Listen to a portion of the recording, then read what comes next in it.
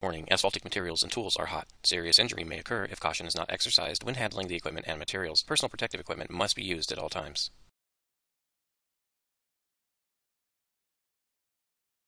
Okay, this is Arizona 103, sampling bituminous materials. There's two types of materials. There's asphalt binder and there's emulsions. The containers that we're going to be using for asphalt binder has to be a minimum of one gallon can, uh, double friction tops, seal on it. Uh, these paint cans work good. You can see there's a seal on the inside and the outside. Make sure that your lids fit tightly with, on your containers. For the emulsions, it's two half-gallon containers made of plastic with wide mouth lid uh, openings. Minimum two of those. Before you use them, you have to make sure that they're clean, they're new, they're clean, no residue. Make sure that the lid fits on there good and tight. if you have to clean them, you cannot use any solvents to clean it. You have to use just a clean dry cloth to clean it. And then transferring from one container to another should be avoided if at all possible.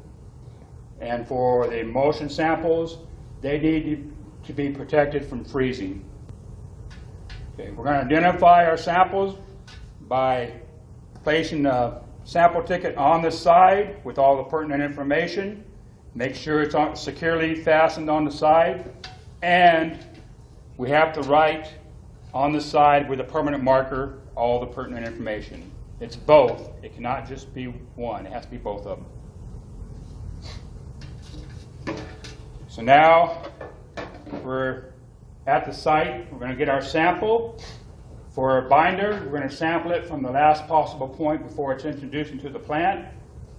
Uh, for emulsions, it's, it's a distributor truck on the project. No matter where you're at, you're going to have a valve. You're going to open up the valve and let at least one gallon pass through the valve.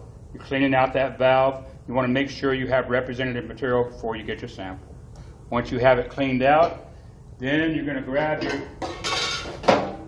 your uh, container for binder. It's going to be a metal container. For emulsions, it'll be your plastic containers. You're going to fill it up to no more than one inch from the top of the can or the, of the container.